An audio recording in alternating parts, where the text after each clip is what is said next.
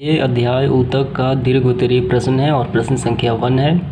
पौधे में सरल ऊतक, जटिल ऊतक से किस प्रकार भिन्न है? उदाहरण सहित लिखें। तो हमें यहाँ पे सरल ऊतक और जटिल ऊतक, इनकी विभिन्नताओं को यहाँ पे बताना है उदाहरण के साथ। तो ये काफ़ी आसान सा प्रश्न है तो चलिए इसको आंसर लिखते हैं, हल करते हैं इसको। तो आंसर लिखने से पूर्व कुछ बातें इनके बारे में जान लेते हैं। कि एक जो पौधा होता है, एक प्लांट होता है तो उसका विकास सर्वप्रथम प्लांट ऊतक के माध्यम से होता है। तो प्लांट ऊतक दो प्रकार के होते हैं। पहला होता है बिब्बी ऊतक और दूसरा होता है अस्थाई ऊतक। तो बिब्बी ऊतक ही विकास करके अस्थाई ऊतक में तब्दील हो जाते हैं, यानी बदल जाते हैं। और और यही अस्थाई ऊतक दो प्रकार के होते हैं। कौन कौन एक होता है सरल अस्थाई ऊतक और एक होता है जटिल अस्थाई ऊतक। और हमें यहाँ पे इन दोनों के बारे में बताना है। जो सरल स्थायी ऊतक होता है, ये पौधे के मूलभूत जो क्रियाएँ होती हैं, उनमें सहायक होता है और जटिल ऊतक जो होता है, ये जाइलम और फ्लोइम कहे जाते हैं, जो पौधे में खाद्य और जल का स्थानांतरण करने में मदद करते हैं।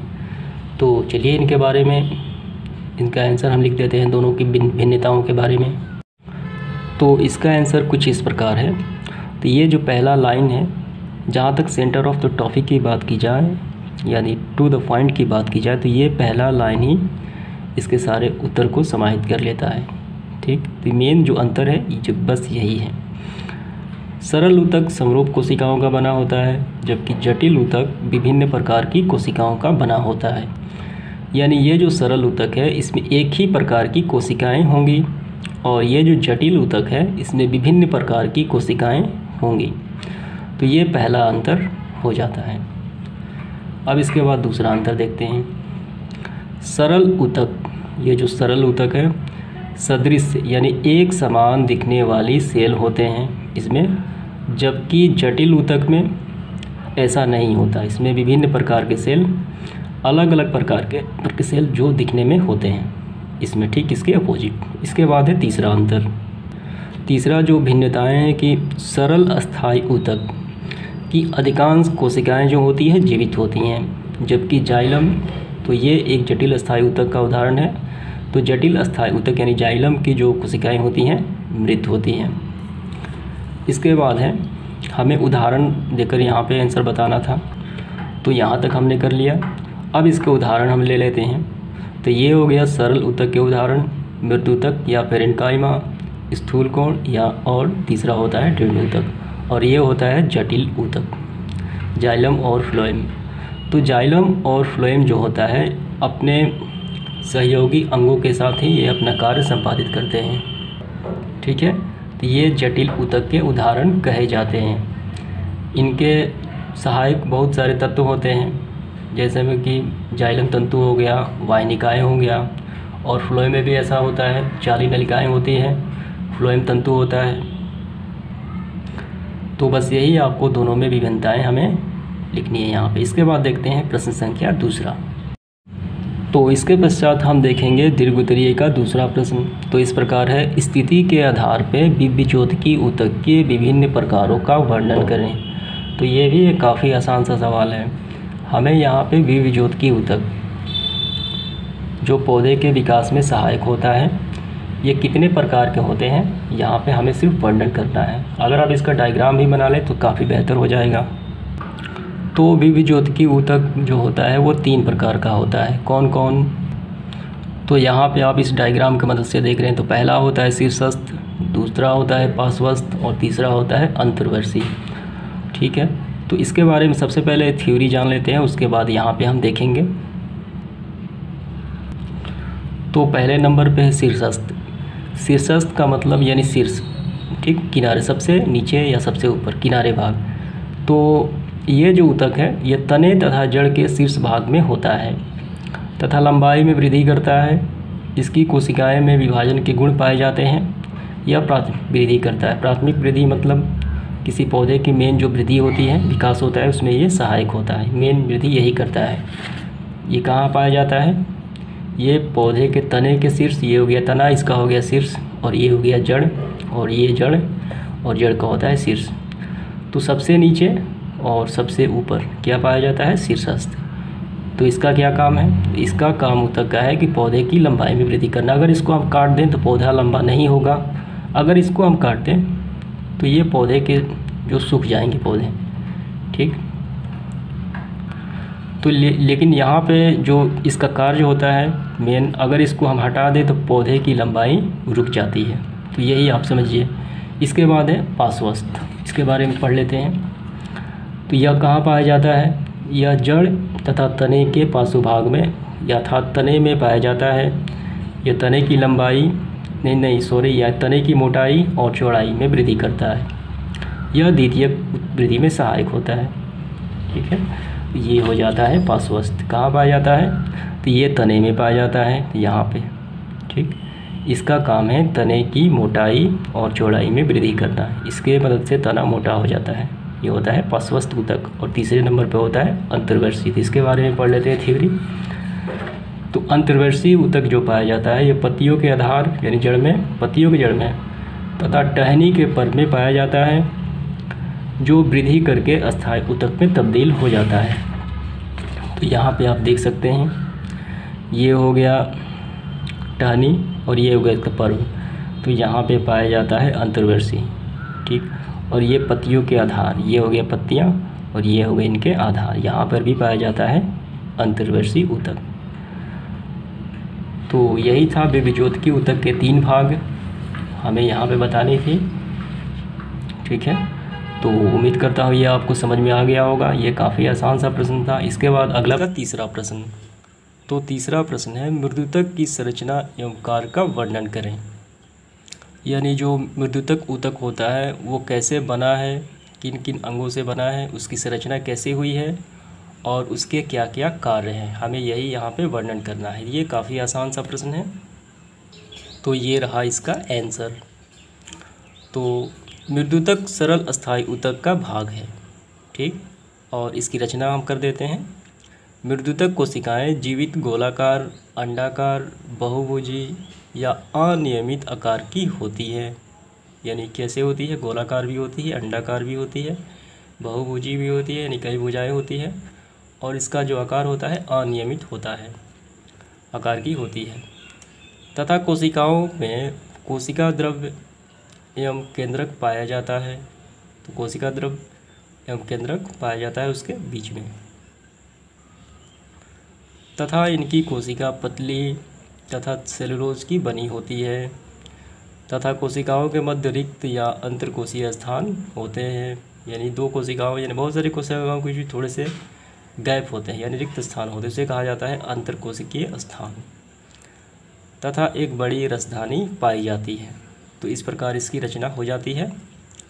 और कुछ मृदुतक जिनमें क्लोरोफिल पाया जाता है, यानी हरित लवक पाया जाता है, उसे क्या कहा जाता है? उसे कहा जाता है कोरेन काइमा तथा कुछ मृदुतक जो जल में पाए जाते हैं, और उसमें विशेष प्रकार की गोइकाएँ होती हैं, उसे कहा जाता है एरेन काइमा तो ये रहा इसका रचना।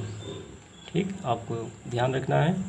क्लोरोफिल वाले को कहा जाता है कोलेनकाइमा और जो जल में पाया जाता है मृदुतक उसे कहा जाता है एरेनकाइमा और जो सामान्य ढंग से पाया जाता है तो इस प्रकार से उसकी रचना होती है। ठीक? अब इसके कार्य को हम देख लेते हैं, इसके क्या क्या काम हैं। तो यहाँ पे है, एपिडिस्मिस के रूप में यह पौधे को संरक्षण करता है। एपिडमिस का मतलब होता है कि बाहरी परत के तौर पे, यानी बाहरी चमड़ा होता है, बाहरी त्वचा होता है, उसे कहते हैं एपिडमिस यानी बाहरी त्वचा के रूप में यह पौधे को क्या करता है? संरक्षण यानी सुरक्षा प्रदान करता है। कौन प्रदान करता है? तो ये मृतक सरल अस्थाई उतक ठीक? ये प्रदान करता है। अब इसके बाद दूसरा जो काम है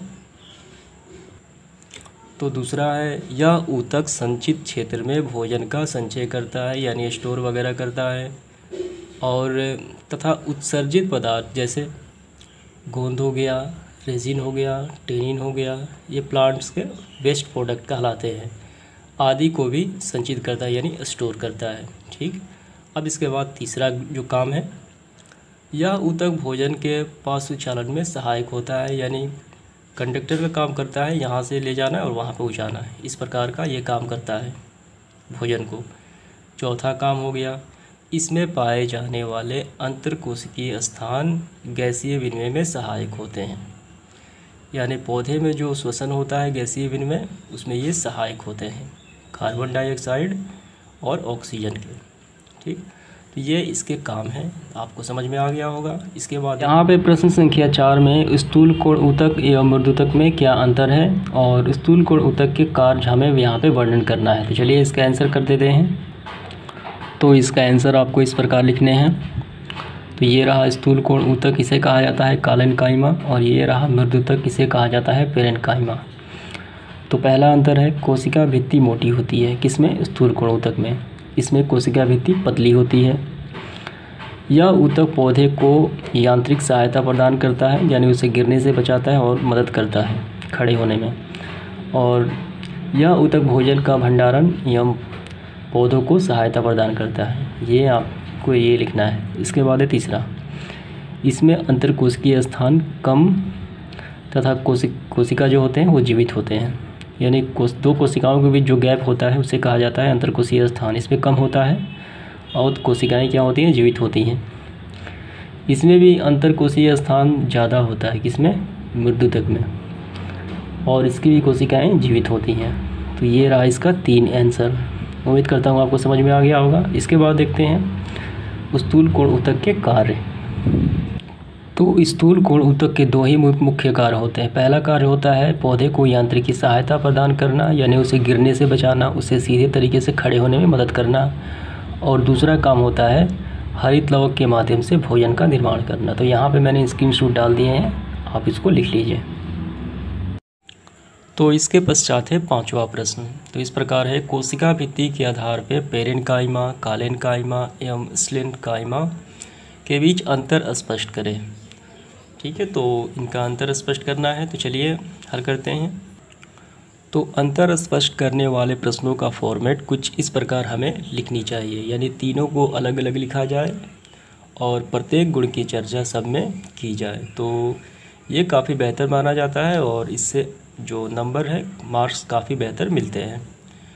तो यहाँ पे लिखा गया है पेरेंट कायमा, कालन कायमा और स्लेरन कायमा, यानी डेढ़ ऊ तक। हमें तीनों में अंतर स्पष्ट करना है। तो पहला जो गुण है, इसमें जीवित कोशिकाएँ होती है, किसमें? कायमा में। और यही गुण इसमें देखते हैं, इसमें भी जीवित कोशिकाएँ होती है और इसमें इसमें कोशिकाएँ मृत होती है, इसमें जीवित कोशिकाएँ नहीं होती। इसे कहा जाता है डेड ऊ तक। इसके पश्चात इसका दूसरा अंतर। कोशिका भित्ति पतली होती है, किसमें? पेरिन काइमा में। और यही गुण, कालिन काइमा में क्या होती है? कोशिका भित्ति मोटी होती है। और इसमें कोशिका भित्ति मोटी होती है। यानी इन दोनों में मोटी होती है और इसमें पतली होती है। इसके बाद है तीसरा अंतर। तो तीसरा अंतर ये हुआ, कोशिकाओं के बीच ज़्यादा रिक्त स्थान होते हैं। यानी यानी अंतर कोशीय स्थान इसमें ज़्यादा होते हैं पेरेंट कायमा में।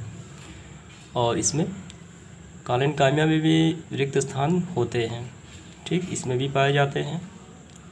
और स्लेरन कायमा यानी ड्रीड ऊतक में रिक्त स्थान नहीं पाए जाते हैं इसलिए ये काफ़ी कठोर होते हैं। इसके बाद इसका चौथा आखिरी अंतर।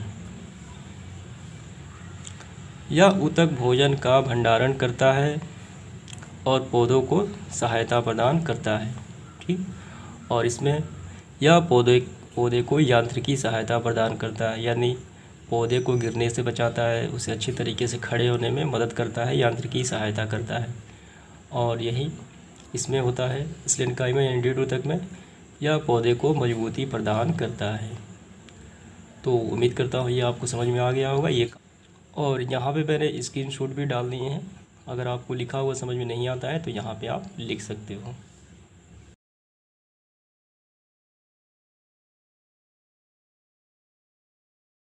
तो प्रश्न इस प्रकार है पतियों के एपिडमिस पर पाए जाने वाले रंध्र की संरचना का कार्य विवरण दें।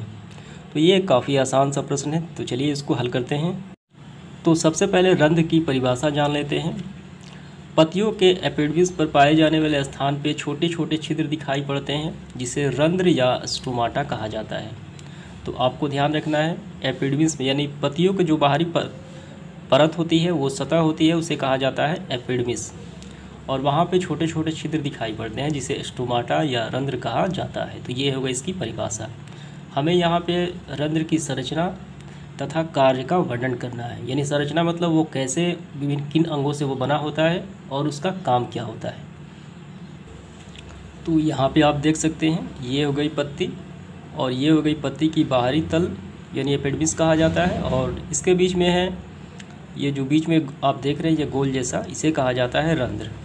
पत्तियों पे छिद्र होता है और इन छिद्रों को कहा जाता है रंध्र या स्टोमाटा तो इसकी संरचना को देख लेते हैं। संरचना और कार एक साथ है। स्टोमाटा विक के आकार यानी किडनी के आकार वाली दो रक्षी कोशिकाओं से घिरी रहती है। तो यहाँ पे आप देख सकते हैं। एक ये रक्षी कोशिकाएँ हो गई और ये एक हो गई, यानी लेफ़्ट और राइट। इसके बीच में क्या है? ये रंध्र कहलाता है, यानी ये छिद्र। यहाँ पे आप देख सकते हैं। ये एक रक्षी कोशिकाएँ और ये एक रक्षी कोशिकाएँ। इस प्रकार और इस प्रकार। और ये बीच में जो दिखाई पड़ रहा है छेद, इसे रंध्र कहा जाता है।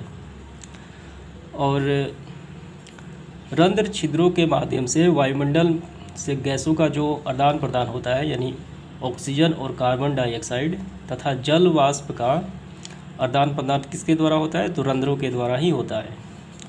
और तथा इन छिद्रों द्वारा वाष्पोत्सर्जन की क्रिया संपन्न होती है, यानी रंध्रों से। तो ये हो जाती है रंध्र की परिभाषा और संरचना और कार्य। अगर आप इससे ज़्यादा भी लॉन्ग क्वेश्चन आंसर लिखना चाहते हैं तो थोड़े से आप दो तीन लाइन बढ़ा सकते हैं, वो आप टेक्स्ट बुक में दे दिया गया है। लेकिन मेन पॉइंट ये आपको ज़रूर लिखना है और पिक्चर भी बनाना चाहते हैं तो बना सकते हैं। तो इसके बाद देखेंगे इसका अगला प्रश्न। तो ये एक आसान सा प्रश्न है जिसमें कहा गया है, कार कोशिका की रचना एवं कार को स्पष्ट करें। तो चलिए इसको हल करते हैं। और हमें यहाँ पे बताना है कि कार कोशिका की रचना किन किन तत्वों से हुई है और इस कार कोशिका के क्या क्या कार्य हैं। तो इसकी शुरुआत सबसे पहले कार कोशिका की परिभाषा से करते हैं। वृक्ष के तनों के बाय त्वचा स्थान पर अवस्थित मृत कोशिकाओं से बने, उत्कों का मोटा स्तर होता है, जिसे कार कोशिका या कार कहा जाता है। तो ये हो गई इसकी परिभाषा। यानी कार्क जो होता है, ब्रिज के जो बाहरी आवरण होते हैं, एक विशेष प्रकार की परत होती है। और उसे कहा जाता है कार्क कोशिका। तो यहाँ पे मैंने स्क्रीनशॉट डाल दिए हैं। आप चाहे तो इसको देख सकते हैं। वास्तविक जीवन में कैसे दिखाई पड़ते हैं कार्क सेल। और ये जो कॉर्क सेल होता है वृक्ष को बाहरी तत्वों से रक्षा करता है। सुरक्षा प्रदान करने के लिए ये होता है। अब इसके बारे में हम जान लेते हैं इसकी रचना कैसे होती है, कार्क सेल की। तो यहाँ पे आपको देखने हैं रचना। समय के साथ साथ पुराने हो रहे वृक्ष इसके बाहरी ऊतक विभाजित होकर कार्क सेल का निर्माण करते हैं। ये मृत कोशिकाओं के होते हैं तथा इनमें अंतर कोशिकीय स्थान नहीं होता, यानी को दो कोशिकाओं के बीच जो गैप होता है, इसमें बिल्कुल नहीं होता तथा कोशिकाएँ त्रिज्यक रूप में व्यवस्थित रहती हैं। ये आकृति एक। इन कोशिकाओं की दीवारें मोटी होती है तथा इन पे सब्रेलिन नामक कार्बनिक पदार्थ जमा होते हैं तथा इनमें कोशिकाओं में जीवित, जो जीव द्रव्य होता है तथा कोशिका भित्ति में जल एवं गैस अनुपस्थित होता है, ये नहीं पाए जाते हैं। कोशिका में जीव द्रव्य भी नहीं पाया जाता और भित्ति में जल एवं गैस भी नहीं पाया जाता। और इनकी कोशिकाएँ जो होती हैं, वो मरी हुई होती हैं। तो ये तो हो गई इनकी रचना। अब इसका जो कार्य है तो इसका कार्य एक महत्वपूर्ण कार्य यही है। कार्य जो सेल होता है, ये वृक्ष को बाहरी आवरण से, यानी बाहरी आघातों से रक्षा प्रदान करते हैं। तो मैंने यहाँ पे स्क्रीनशॉट वो डाल दिए थे, आप चाहे तो वो पढ़ सकते हैं। और ये कार्क सेल का जो उपयोग होता है, हमें यहाँ पे उपयोग तो बताना नहीं, लेकिन उपयोग जो होता है, वो व्यावसायिक तौर पे भी होता है। इससे कई प्रकार के वस्तु बनाए जाते हैं खेल कूद के सामान बनाए जाते हैं, विद्युत से संबंधित सामान बनाए जाते हैं। ठीक है तो यही था इसका प्रश्न संख्या सातवां। इसके बाद देखेंगे प्रश्न संख्या आठवां। तो चलिए इसका प्रश्न संख्या आठ भी हल कर लेते हैं। यहाँ प्रश्न है, जाइलम उतक की रचना एवं कार्य को स्पष्ट करें। तो ये एक आसान सा प्रश्न है। तो यहाँ पे हम दो लाइन में इसकी परिभाषा लिखेंगे। किसी पौधे में जाइलम उतक जटिल अस्थायी उतक के श्रेणी में आते हैं। जो पौधे के जड़, तना एवं पत्तियों में पाया जाता है। कौन? जाइलम ऊतक। और यहाँ से रचना स्टार्ट होती है। इसकी रचना चार विभिन्न प्रकार के तत्वों से हुई है। कौन कौन तो यहाँ पे आपको लिखना है वाहिनिकाएँ, वाहिकाएँ, जाइलम तंतु और जाइलम मृदुतक तो सबके बारे में आपको लिखना है, लेकिन मैंने यहाँ पे एक लाइन लिखे हैं। अगर आप थोड़े से लंबा करना चाहते हैं तो एक लाइन और भी बढ़ा सकते हैं, क्योंकि ये एक लॉन्ग क्वेश्चन आंसर है। और तो चलिए इनके बारे में लिखना होगा हमें। तो पहला होता है वाहिनिकाएँ। तो इसके बारे में, इसकी कोशिकाएँ लंबी जीव द्रव्यहीन दोनों सिरों पे नुकीली तथा मृत्यु होती है। तो ये इसके बारे में है। तो आपको ध्यान रखना, इसकी कोशिकाएँ कैसी होती है? लंबी होती हैं, इसमें जीव द्रव्य नहीं पाया जाता और ये दोनों सिरे पे नुकीली तथा मृत होती है। और इसके बाद है वाहिकाएँ ठीक?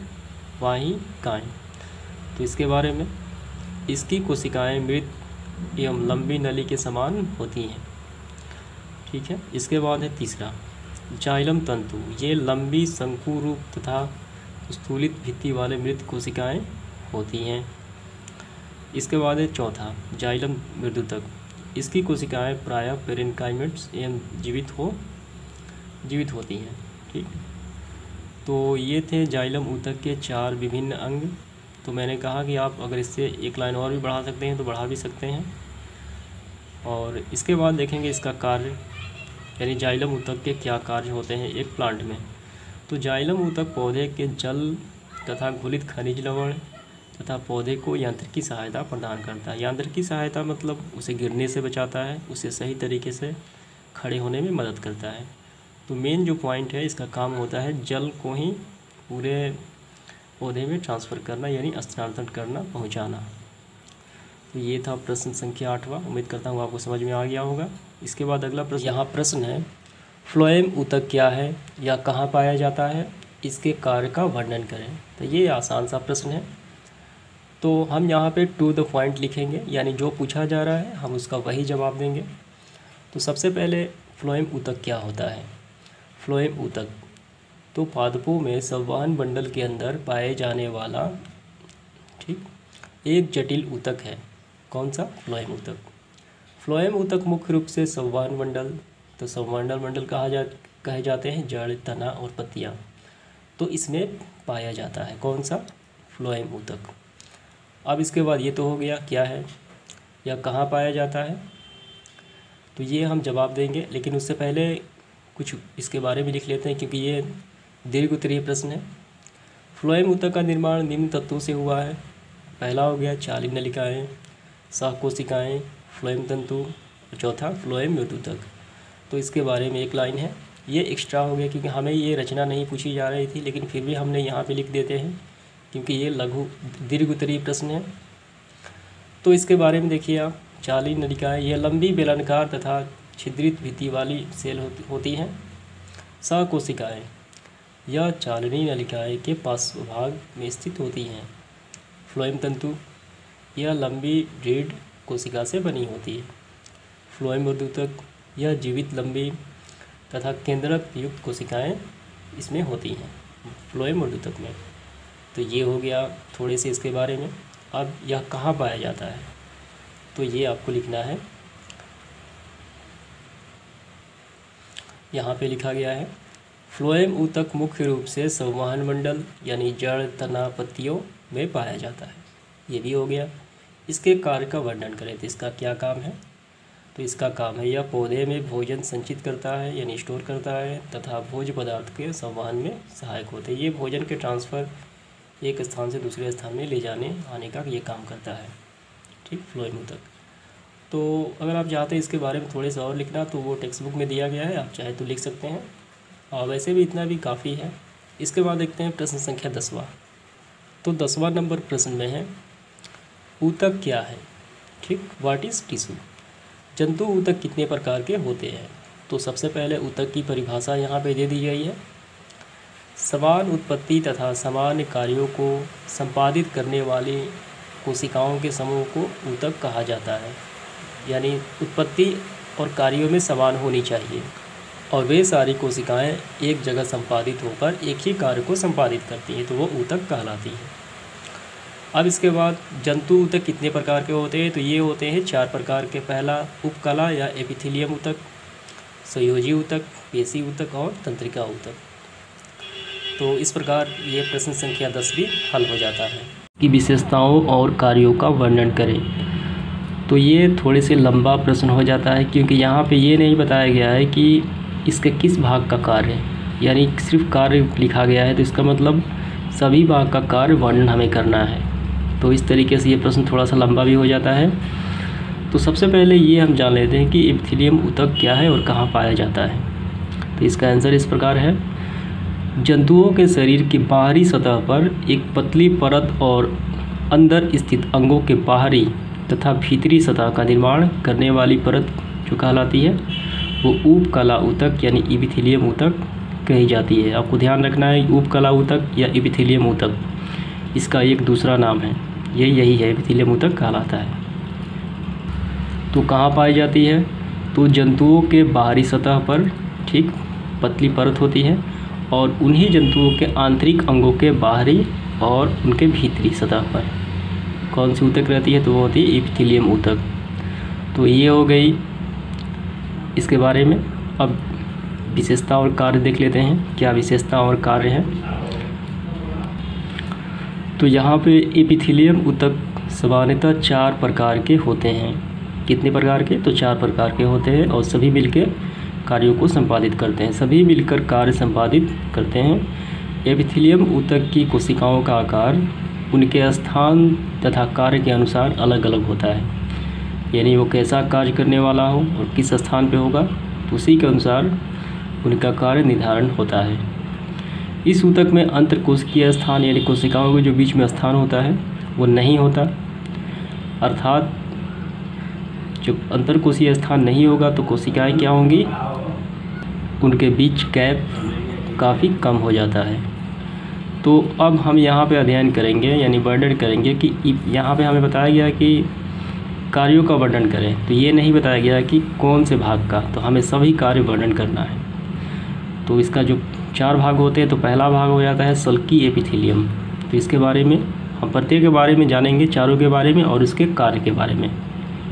तो ये आपको लिखना है, यह त्वचा के बाहरी परत पर पाई जाती है, यह दीवार पर लगी ईट के समान दिखती है ठीक है, और ये लाइन इसके बाद ये आपको लिखना है, ये छूट गया है। आप इसको यहाँ से लिख लीजिए। इन ऊतक के सेल में केंद्रक होता है तथा न्यूक्लियस होता है। न्यूक्लियस सभी चारों भाग में पाया जाता है। न्यूक्लियस जो होता है, वो सेल के बीच वाला एक पार्ट होता है। ठीक, वो सभी में पाया जाता है, यानी सभी भागों में पाया जाता है। और इसका कार्य, इनका कार्य आंतरिक अंगों की सुरक्षा देना तथा रक्त वाहिनियों एवं वायु कोष में पदार्थों के विसरण में सहायता देना। ये सल्की एपिथेलियम का कार्य हो जाता है। इसके बाद देखेंगे इसका दूसरा भाग।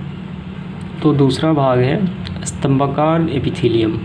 ठीक, स्तंभाकार एपिथेलियम। यह ऊतक एक ही स्तर के सजे स्तंभाकार कोशिकाओं के बने होते हैं तथा कोशिकाओं के मुक्त सिरों पर सूक्ष्म रसांकुर होते हैं।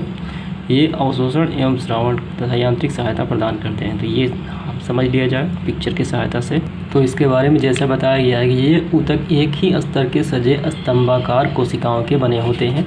तो ये रहा स्तंभाकार फ़िल्म देखिए, एक साइज़ के हैं सब सारे। सभी एक जैसे बने हुए हैं। ठीक है, और इसके बारे में क्या है? तथा कोशिकाओं के मुक्त सिरों पर सूक्ष्म रंसाकुर होते हैं। तो मुक्त सिरों पर, देखिए, ये हो गया सूक्ष्म रंसाकुर। ये पतली पतली धारियाँ दिखाई पड़ रही है। और इसका काम क्या है? और एक बात और कि ये जो बीच का जो काला दिखाई पड़ रहा है, न्यूक्लियस इसे कहा जाता है। ये सभी में पाया जाता है। इसमें भी इसमें भी और ये है क्यूबाइड इसमें भी न्यूक्लियस और यहाँ पे भी न्यूक्लियस। ठीक है?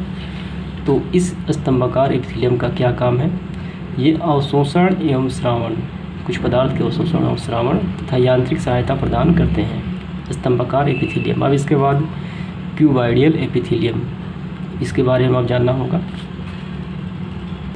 तो यहाँ आप देख लीजिए डायरेक्ट क्यूबाइडियल एपिथेलियम ये यहाँ इसका डायग्राम इसकी कोशिकाएँ घनाकार होती हैं। इस प्रकार प्रत्येक कोशिकाओं में एक स्पष्ट गोलाकार न्यूक्लियस होता है। ये रहा बीच में ये काला भाग न्यूक्लियस ये अलार ग्रंथि और श्वेत ग्रंथि भी नलिकाओं में पाई जाती है ये पूरे।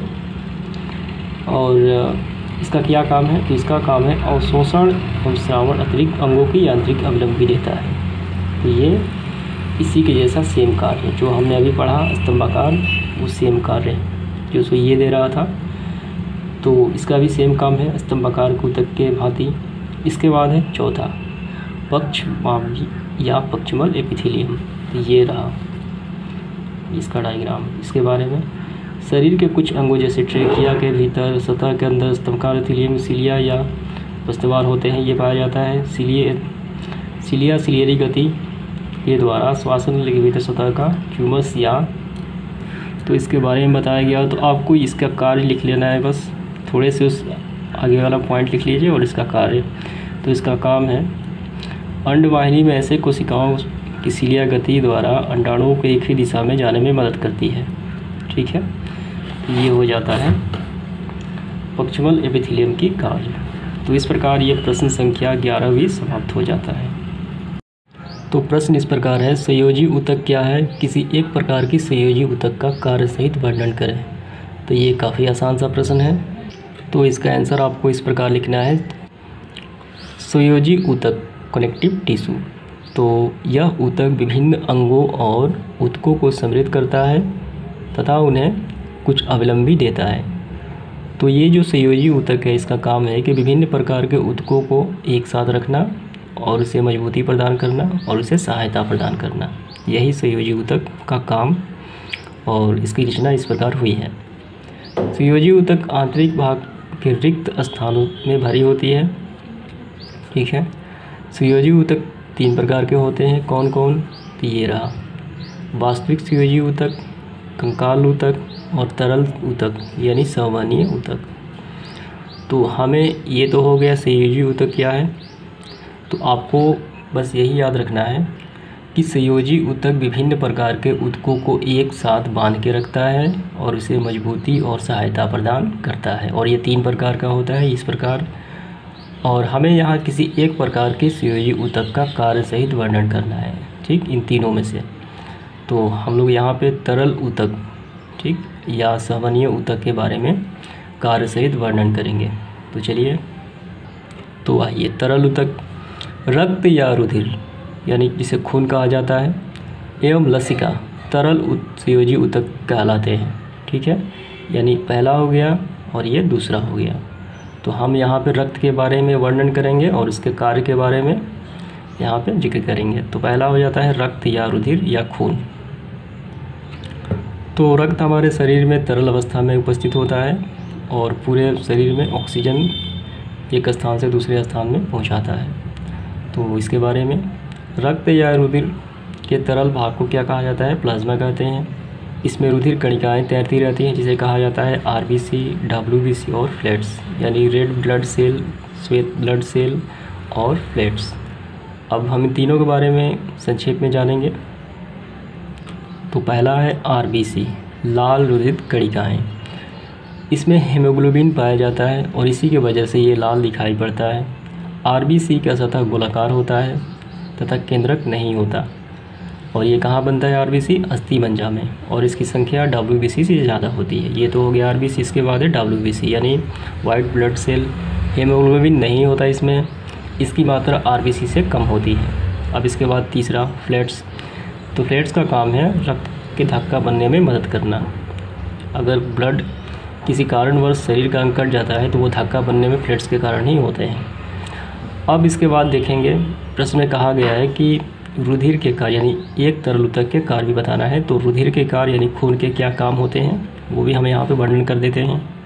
तो यहाँ आप देखिए, रुधिर, यानी खून के दो काम है, परिवहन, यानी किसी पदार्थ को एक स्थान से दूसरे स्थान ले जाना और ले आना, परिवहन कहलाता है, और ताप नियंत्रण, यानी बॉडी के टेम्परेचर को नियंत्रण करना, दो काम होता है, ठीक है, ये दो काम होता है रक्त का।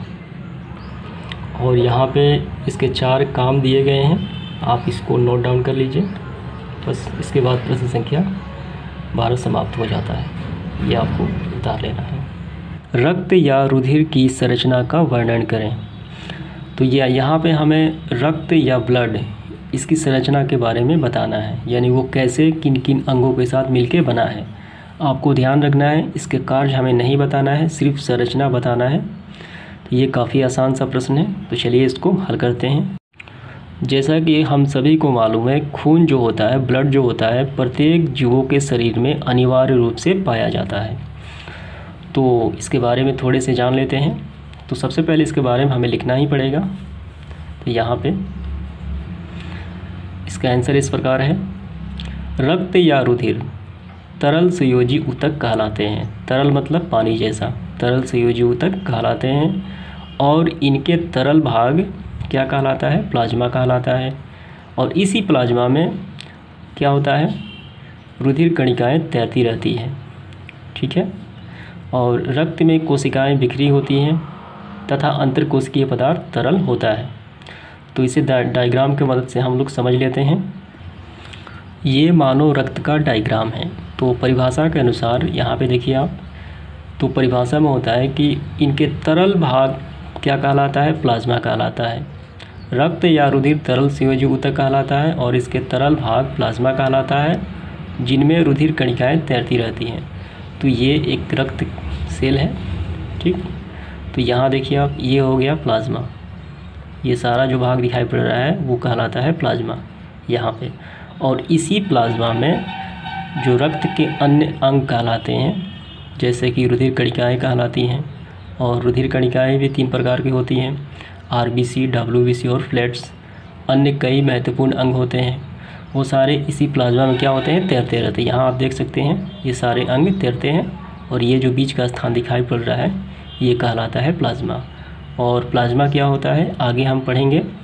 ये एक तरल पदार्थ होता है ये प्लाज्मा तो ये हो गया प्लाज्मा ये हो गया आरबीसी और इसे कहा जाता है लिम्फोसाइट ठीक?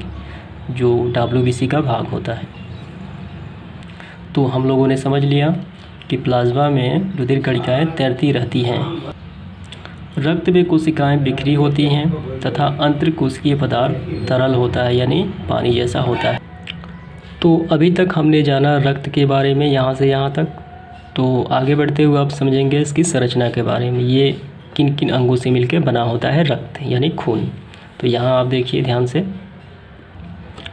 तो संरचना रक्त या रुधिर, जिसे ब्लड भी कहा जाता है, दो मुख्यतः दो भागों में बांटा गया है। पहला, प्लाज्मा, और दूसरा, रुधिर कणिकाएँ। तो हम इन दोनों के बारे में जानेंगे, क्योंकि यहाँ पे बताया गया है कि संरचना के साथ वर्णन करें। तो सबसे पहले प्लाज्मा के बारे में जानेंगे कि प्लाज्मा क्या कहलाता है और उसके पश्चात जानेंगे रुधिर कणिकाओं के बारे में। तो चलिए प्लाज्मा के बारे में अध्ययन कर लेते हैं और ये आपको आंसर में भी यही सब लिखना है सेम टू सेम तो यहाँ देखिए आप, यहाँ पे, यहाँ तक। तो प्लाज्मा। तो प्लाज्मा के बारे में आपने सुना होगा, जो फ़िलहाल कोविड नाइन्टीन के इलाज में प्लाज्मा थेरेपी का उपयोग लिया जाता है। स्वस्थ व्यक्ति के ब्लड से प्लाज्मा निकाल के जो ग्रसित व्यक्ति है, उसमें डाला जाता है। तो वही प्लाज्मा है, जो ब्लड में पाया जाता है। यह आयतन के हिसाब से सारे रुधिर का कितना प्रतिशत होता है? पचपन प्रतिशत होता है और बाकी का पैंतालीस प्रतिशत रुधिर कणिकाएँ होती हैं। यह हल्का पीले रंग और चिपचिपा और अल्प क्षारीय द्रव्य है। कौन सा? प्लाज्मा।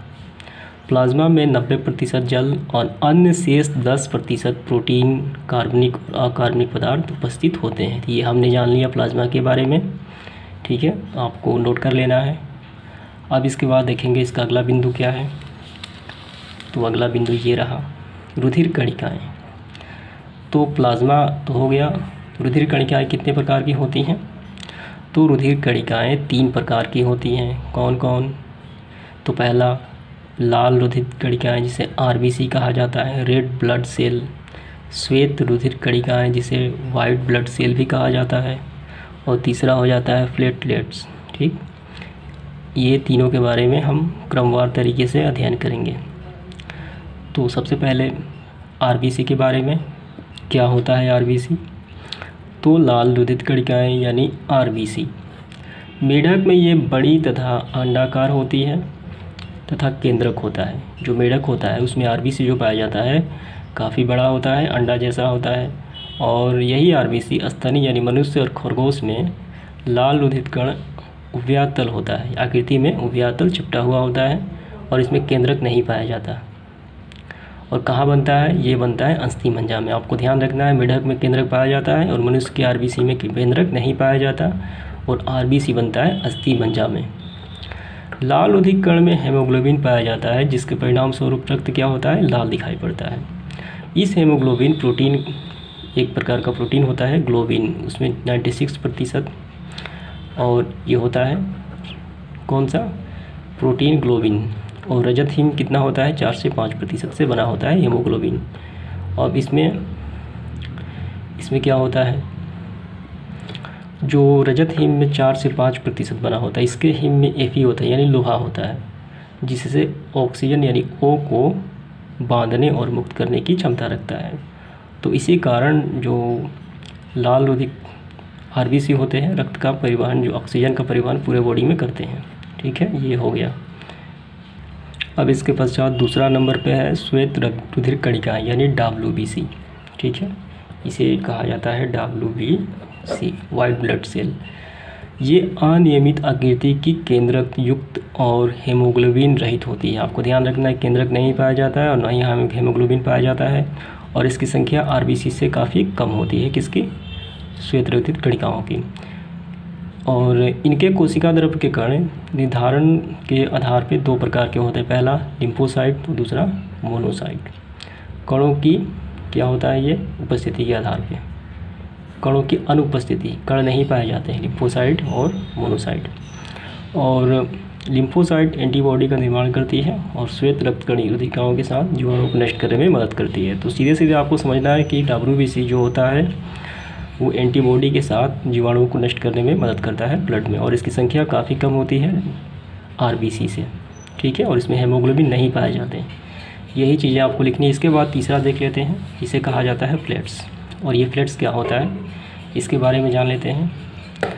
तो मेढक के रुधिर में यानी खून में केंद्रक युक्त सेल पाई जाती है तथा स्तनीय यानी मानव और खरगोश में केंद्रक केंद्रकहीन इसमें केंद्रक नहीं पाए जाते हैं। कुछ गोलाकार, कुछ टिकिए के समान होती हैं, जिसे फ्लेट्स कहा जाता है, और इस फ्लेट्स का काम होता है रक्त के धक्का बन जमने में मदद करना। अगर किसी कारणवश दुर्घटना हो जाता है तो रक्त का धक्का किसके कारण बनता है तो वो बनता है फ्लेट्स के कारण। ठीक है, आप समझ गए होंगे। तो ये था रक्त की संरचना।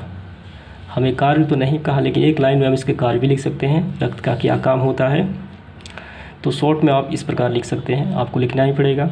रुधिर या रक्त का कार्य। परिवहन एवं ताप नियंत्रण। परिवहन मतलब किसी पदार्थ को एक स्थान से दूसरे स्थान ले जाना और वापस लाना। परिवहन कहलाता है और टेम्परेचर का कंट्रोल करना। ये खून का काम होता है। तो इस प्रकार ये प्रश्न संख्या तेरह समाप्त होता है। इसके बाद है प्रश्न क्रमांक चौदह, पेशी उतक क्या है? अरेखित तथा रेखित पेशी उतकों की रचना एवं कार्य वर्णन करें। सबसे पहले परिभाषा देख लेते हैं। जंतुओं के शारीरिक अंगों में गति पेशी जो होती है, वो पेशी उतकों के कारण ही होता है। इस उतक की कोशिकाएँ लंबी होती है। तो ये रही पेशी उतक के बारे में। अब अरेखित और रेखित पेशी ऊतक की रचना और कार्य। सबसे पहले अरेखित पेशी ऊतक। अरेखित पेशी। ये पेशियाँ नेत्र के आयरिस में विषण और उसकी नलिका में मूत्रवाहिनी और मूत्राशय में तथा रक्त वाहिनियों में पाई जाती है। आहार नाल की भित्ति में ये अनुदैध और गोलाकार पेशी स्तरों के रूप में दिखाई देती है। यहाँ पे। इस आकृति में। ठीक है, ये सारे। अरेखित पेशी या कोशिका तर्कु की आकृति कैसी होती है? आकृति तर्कु की आकृति की होती है। इसमें प्रचुर मात्रा में कोशिका द्रव और केंद्रक पाया जाता है यहाँ पे। तो ये सारे आपको लिखने हैं और ये कार्य हो गया। कार्य क्या है? ये रहा। आहार नाल के एक भाग से दूसरे भाग में भोजन का प्रवाह इस पेशी के सकुचन एवं प्रसार के कारण ही होता है। ठीक है? यानी अरेखित पेशी के द्वारा। अब इसके बाद हमें लिखना है रेखित पेशी तो इसके बारे में भी है यहाँ पे। तो ये आप लिख सकते हैं। इसके बाद है पंद्रह नंबर प्रश्न। रक्त एवं रक्त एवं लसिका के कार्य का वर्णन करें। रक्त एवं लसिका के कार्य का वर्णन करें। तो यहाँ देखिए, सबसे पहले रक्त या रुधिर के कार्य, रक्त एवं ताप नियंत्रण। बॉडी में रक्त का परिवहन यानी ऑक्सीजन का परिवहन करना और ताप नियंत्रण करना। ये सारे रक्त के कार्य हो गए। इसके बाद लसिका, ये रहा लसिका। और यहाँ पे लसिका के कार्य हो गए। ठीक है तो यही आपको लिखना है। तंत्रिका ऊतक की इकाई क्या है? और इसका स्वच्छ नामांकित चित्र बनाना है बिना वर्णन के, यानी वर्णन की आवश्यकता नहीं है। तो इसका आंसर हम देख लेते हैं। तंत्रिका ऊतक की इकाई क्या है? तो न्यूरॉन तंत्रिका ऊतक की इकाई कही जाती है। और इस न्यूरॉन जो होता है, ये इंग्लिश है और इसका हिंदी होता है तंत्रिका कोशिका। ठीक है? और इस न्यूरॉन का कार्य होता है मस्तिष्क से सूचनाओं का आदान प्रदान और इसका विश्लेषण करना। और ये जो विद्युत रासायनिक संकेतों द्वारा ये संपादित करती है मस्तिष्क से सूचनाओं का आदान प्रदान। तो ये तो हो गई तंत्रिका उतक की इकाई। तो अब इसका हम नामांकित चित्र भी बना देते हैं। तो चलिए।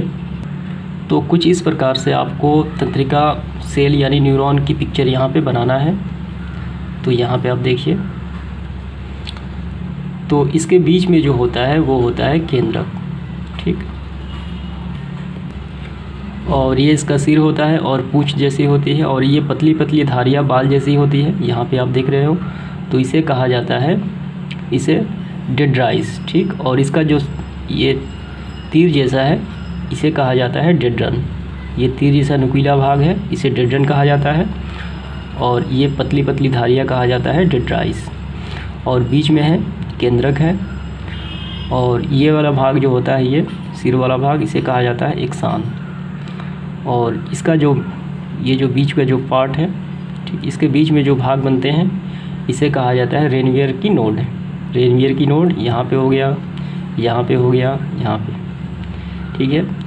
और लास्ट की जो पूछ होती है, उसे कहा जाता है मज्जा अंछादन और इस भाग को कहा जाता है ल्यूरी नेम ल्यूरी लेमा और इस सिर सबसे ऊपरी भाग, यानी सिर के ये बीच भाग को कहा जाता है ये सारे साइटन। तो इस प्रकार इसका चित्र बन जाता है, नामांकित चित्र। और जैसा कि मैंने बताया कि इसका काम होता है मस्तिष्क से सूचनाओं का आदान प्रदान करना और ये मस्तिष्क में पाई जाती है, जो विद्युत संकेतों द्वारा संपादित होती है। तो यही इसका आंसर हो जाता है। धन्यवाद। तो इसके बाद प्रश्न संख्या सत्रह है, न्यूरॉन या तंत्रिका कोशिका। की संरचना का चित्र सहित वर्णन करें। तो आपको ये बात ध्यान रखना है कि तंत्रिका कोशिका का इंग्लिश होता है न्यूरॉन, और न्यूरॉन का मतलब होता है तंत्रिका कोशिका। हमें यहाँ इसकी संरचना और चित्र के साथ करनी है, वर्णन भी। तो चलिए इसको हल करते हैं। इन सबसे पहले हम ये जानेंगे कि न्यूरॉन किसे कहा जाता है। तो न्यूरॉन या तंत्रिका कोशिका, तंत्रिका ऊतक की इकाई कहलाती है। यह एक उत्तेजनीय कोशिका है। इस कोशिका का कार्य मस्तिष्क से सूचना का आदान प्रदान और विश्लेषण करना, यानी एनालिसिस करना। यह कार्य विद्युत रासायनिक संकेतों द्वारा होता है, यानी संपादित होता है।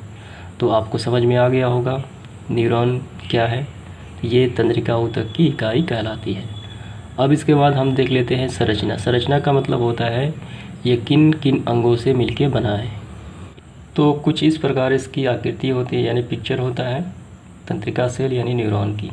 ठीक है? तो चलिए इसके बारे में वर्णन कर देते हैं। तो ये रहा संरचना।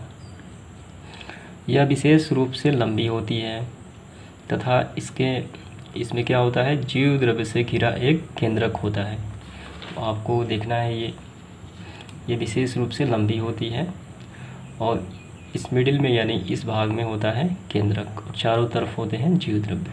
ठीक है? ये जीव द्रव्य। जीव द्रव्य से डेड्राइस नामक अनेक छोटी छोटी शाखाएँ निकलती हैं। ठीक है? तो ये आप देख रहे हैं यहाँ पे। इसे कहा जाता है डेड्राइस ये छोटी छोटी जो शाखाएँ निकलती हैं, इसे पतली पतली इसे डेड्राइस कहा जाता है, इस जीव द्रव्य से निकलती हैं। और इन शाखाओं में से एक शाखा अधिक लंबी होती है, जिसे एक्सान कहते हैं। तो आपको देखना होगा।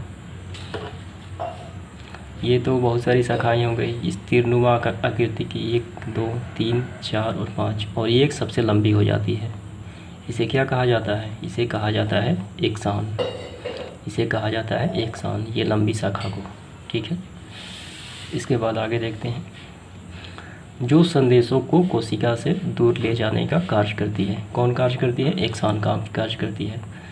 साधारणतः एक लंबे एक सान को तंत्रिका तंतु कहते हैं, तथा तंत्रिका तंतु के बाहरी कोमल आच्छद को न्यूरिमा आच्छद कहा जाता है। यानी ये जो देख रहे हैं आप, इस मोटे आकार जैसी इस तरफ़ फुली हुई है, इसे कहा जाता है न्यूलिमा आच्छद। ये रहा ये रहा, और ये सारे। इसके बाद आगे देखते हैं। तो हम लोगों ने पढ़ा यहाँ तक। तथा इसके नीचे वाले भाग को माइलिन अछाद या मंजा अछाद कहा जाता है। तो सबसे नीचे ये देख रहे हैं। सबसे नीचे ये वाला पार्ट है। तो इसे कहा जाता है मंजा आछद ठीक है? और सबसे ऊपरी और बीच में सभी को कहा जाता है नीलिमा आछद तथा यह जगह जगह सुपचित होता है, जिसे रेनवियर की नोट कहा जाता है। तो बीच में जो इसके भाग बनते हैं, ये वाला इस यहाँ पे देख रहे हैं आप और यहाँ पे देख रहे हैं और यहाँ पे। इसे कहा जाता है रेनवियर की नोट। तो ये तो हो गया अंगों के बारे में। इसके बाद आगे। एक न्यूरॉन के एक्सान के अंतिम छोर की शाखाएँ दूसरे न्यूरॉन के डेट्रास से जुड़कर सिनेक्स का निर्माण करती हैं, यानी सिनेक्स बनाती हैं। तो ये भी आप देख लीजिए, पिक्चर टेक्स्ट बुक में दिया हुआ है। तो यहाँ पे आप देखिए। एक न्यूरॉन का एक सान इसे कहा जाता है, सबसे लंबी है, इसे एक सान कहा जाता है और दूसरे न्यूरॉन का ये कहा जाता है डेट्रास तो ये दोनों आपस में मिल जाती है तो इसे कहा जाता है सीनेक्स। ठीक है, ये आप समझ गए होंगे। ये काफ़ी महत्वपूर्ण पार्ट होता है तंत्रिका कोशिका का। इसके बाद आगे देखते हैं। आवेग का संचार जो होता है, हमेशा एक्सान की एक सेल से दूसरी सेल में डेट्राइस तक होता है। किसके द्वारा? डेट्राइस ड्राइस के द्वारा, जो लंबी लंबी, पतली पतली बाल जैसी आकृति होती है, इसे कहा जाता है डिट्राइस इसी से आवेग का संचार होता है। तो ये था तंत्रिका सेल की बारे में व्याख्या।